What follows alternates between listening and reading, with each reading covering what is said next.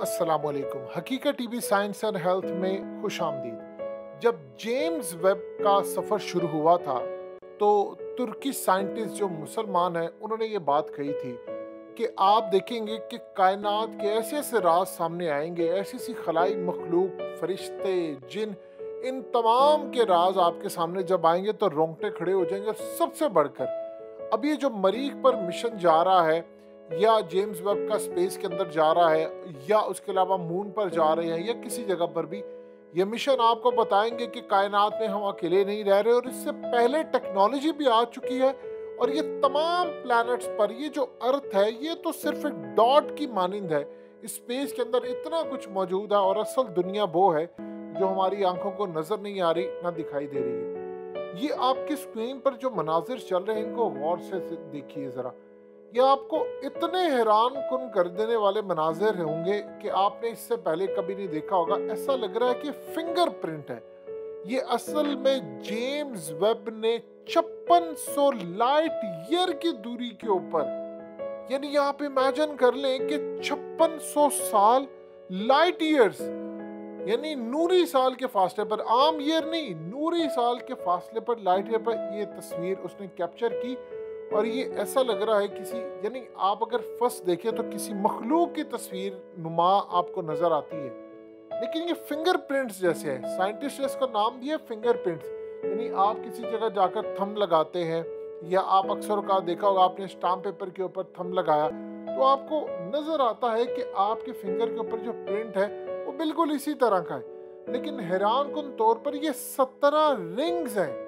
और ये हैरान कन तौर पर आप इनको देखें तो इमेजिन करें आप, बिल्कुल आप अपने अंगूठे को सामने रख लें, आप अपनी फिंगर को देख लें तो आपको ये लगेगा कि आपके फिंगर की ये कार्बन कॉपी है जो आपको सामने नज़र आ रही है। बिल्कुल दरमियान में एक रोशनी है, फिर उसके बाद आपको रिंग्स नज़र आ रहे हैं। और ये उन्होंने कहा कि सत्रह रिंग्स हमें मिले और हैरान कन तौर पर वो कह रहे हैं कि जेम्स वेब की क्वालिटी बेहतर हुई है।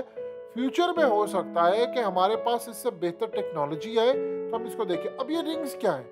अब उनको बाहिर समझ नहीं आ रही कि रिंग्स क्या है, लेकिन उन्होंने कहा है कि दो सितारे जब उनकी मौत होने वाली होती है, यानी सितारे भी मरते हैं। ये एक अजीबो गरीब चीज़ है कि क्या वहाँ पर कोई मखलूक रहती है? कोई वहाँ पर तबाही हो रही है? कोई वहाँ पर आसार ऐसे हैं ये कायनात ऐसे तो नहीं बनी कि सिर्फ़ अर्थ के ऊपर आपका छोटा सा इसके मुकाबले में तो अर्थ देखें तो डॉट नज़र आएगा आपको। तो इतनी बड़ी कायनात, अगर इंसान ने सिर्फ़ इस दुनिया में रहना था तो इतनी बड़ी कायनात का क्या फ़ायदा तो अल्लाह ने तो कोई चीज़ बेकार पैदा नहीं की। तो अल्लाह पाक ने कोई ना कोई हिकमत रखी हुई है। यहाँ पर मखलूक रहती है, यहाँ पर जिन्नात हैं, फरिश्ते हैं, क्या उनके रहने की चीज़ है, या वो ट्रेवल कर रहे हैं? या, ये जो डस्ट आपको नज़र आ रही है कि ये कोई कायनात के अंदर तो फरिश्ते ट्रैवल कर रहे हैं या जिन्नात ट्रैवल कर रहे हैं, वो कह रहे हैं कि जो दो स्टार्स आपस में जब टकराने से बचते हैं, वो प्रेशर होता है रेडिएशन का और वो गैस छोड़ते हैं और गैस की वजह से आपको ये डस्ट नज़र आते हैं, जो रिंग्स आपको नज़र आ रहे हैं जिससे आप अंगूठा अपना देखते हैं। ये अभी वो कह रहे हैं कि हमें ये चीज़ नज़र आ रही है और साइंटिस्ट भी हैरान है कि क्या चीज़ है। उनको भी इस बारे में सही मालूम नहीं है इसकी। वो उस पर वर्किंग कर रहे हैं। देखिए, बहुत सारी जो चीज़ें हैं, वो आवाम के साथ शेयर नहीं करते। उनको ये लगता है, मिसाल के तौर पर, नासा ने अपना ये मिशन जाने से पहले मुसलमानों से पूछा, यानी इस्लाम के एक मुफ्ती से पूछा, जो यूके में रहते हैं, इसी तरह उन्होंने यहूदियों के अहम रहनुमा से पूछा, रब्बी से पूछा, और इसी तरह उन्होंने एक जो चर्च के पादरी है, उनसे भी पूछा, जो बड़े लेवल को दीन को समझते हैं, इस्लाम का जो अपने मजाहब को समझते हैं, तमाम से पूछा कि हमें वहाँ पर कोई अगर मखलूक मिलती है तो हमें इस बारे में आपका मज़हब क्या कहता है? हमें कैसे इंटरेक्ट करना चाहिए? नासा ने 24 क्वेश्चन उनको भेजे थे और पूरी टीम और डिपार्टमेंट बनाया कि खलाई मखलूक से रबते के लिए हमारे पास क्या होना चाहिए, कैसे करना चाहिए, क्योंकि ये ना वो हमसे ज़्यादा ताकतवर हो।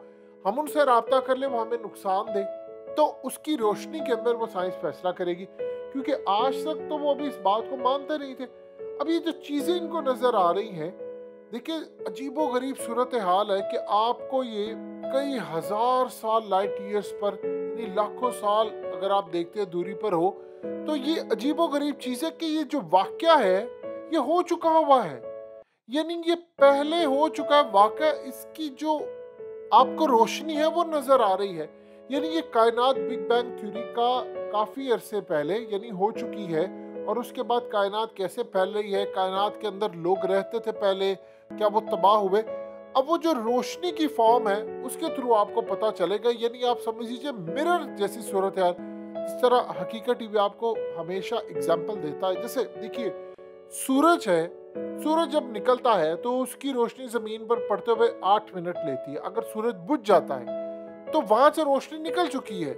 आठ मिनट उसको ट्रेवल करते हुए ज़मीन तक आने में लगते हैं। तो आपको आठ मिनट बाद पता चलेगा कि सूरज बुझ गया है या कोई मसला हो गया। इसी तरह कायनात में जो चीज़ें हैं, वो वाक्य जो हो चुके हैं, वो अरबों साल पहले हो चुके हैं। उनकी लाइट जो यहाँ तक आते आते कई अरबों साल लगते हैं। वो ट्रेवल मुसलसल हालत में कर रहे हैं और वो अक्स है।